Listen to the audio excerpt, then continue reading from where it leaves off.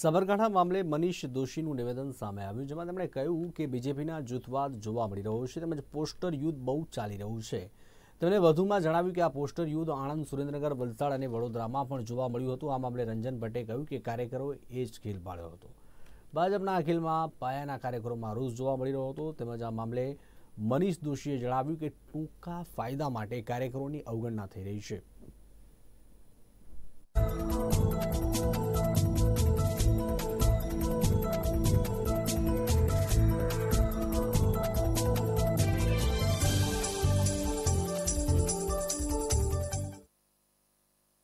ગુજરાતમાં ભારતીય જનતા પાર્ટીમાં અસંતોષની આંધી, જૂથવાદ કહેવાતી પાર્ટી વિથ ડિફરન્સ અને આ પાર્ટીમાં પાયાના કાર્યકર, નિષ્ઠાવાન કાર્યકર, આગેવાનોની સતત અપમાનને અવગણનાના કારણે અને પક્ષ પલટુઓને રાતોરાત વીઆઈપી ટ્રીટમેન્ટ આપીને એમને ટિકિટની વહેંચણી થાય, તેના કારણે પાયાના કાર્યકર્તાઓમાં ભારોભાર આક્રોશો એ સ્વાભાવિક છે.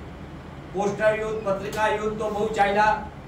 આણંદ વલસાડ, એ પણ આગળ પહોંચ્યું છે. સુરેન્દ્રનગરમાં પણ શરૂ થયું છે સોશિયલ મીડિયા ઉપર અનેક જગ્યાએ.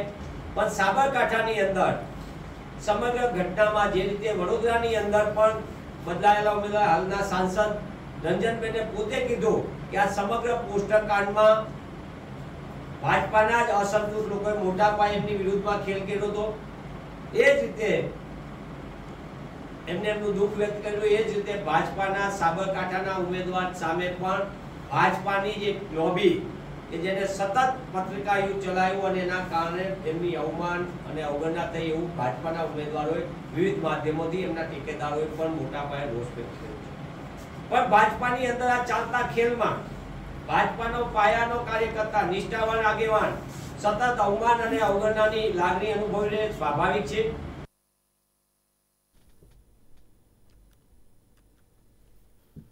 ગુજરાત